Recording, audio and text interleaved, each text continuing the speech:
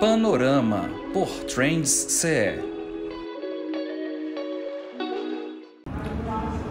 O cenário do turismo no Ceará hoje é um cenário muito promissor, porque o turismo, ele de fato está retomando. As pessoas ficaram muito tempo isoladas no mundo inteiro e há uma necessidade é, até fisiológica, psicológica, natural das pessoas saírem em busca de de ver pessoas, de ver cenários, de ver é, arte, de ver cultura. Então, esse movimento de retomada do turismo é um movimento real. E uma coisa interessante também é que essa retomada começa no turismo local é, próximo. Não é um turismo que vai retomar com viagens internacionais. É um turismo que, que retoma com a, a viagem do cidadão para a praia mais próxima, para a serra, para o sertão. É um turismo que retoma dentro do estado do Ceará e depois talvez é, saia do estado do Ceará para os estados é, vizinhos e depois para o país e depois para o mundo.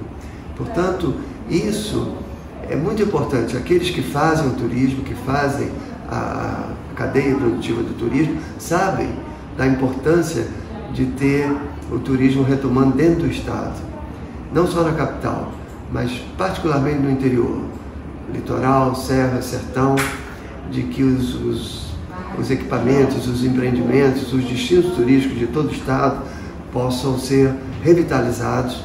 E, e como é imperativo que esse turismo comece próximo, é uma chance do Ceará de retomar o turismo dentro do estado do Ceará.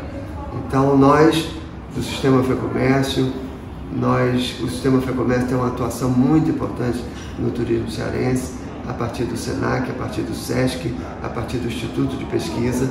Nós temos um Conselho Empresarial de Turismo que é presidido pelo presidente Luiz Gastão, que é o presidente da, do Sistema FEComércio. Portanto, nós estamos vendo isso com muita, com muita alegria, com uma oportunidade e, para concluir, é importante destacar as parcerias. Quer dizer, o Sistema FEComércio, SENAC, SESC, Conselho de Turismo, Instituto de Pesquisa, eles atuam no turismo e buscam constantemente parcerias.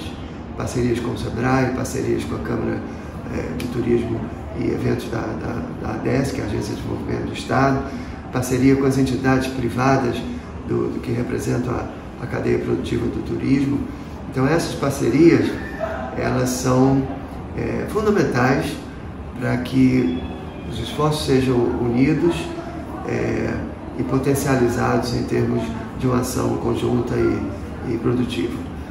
Portanto, estamos animados e, além de animados, é, com muita, muito compromisso de, de, de fazer mais e melhor para que essa retomada seja, de fato, uma retomada importante e que nos leve a, a enfim, a, a geração de emprego, a inclusão, a tudo que a gente precisa.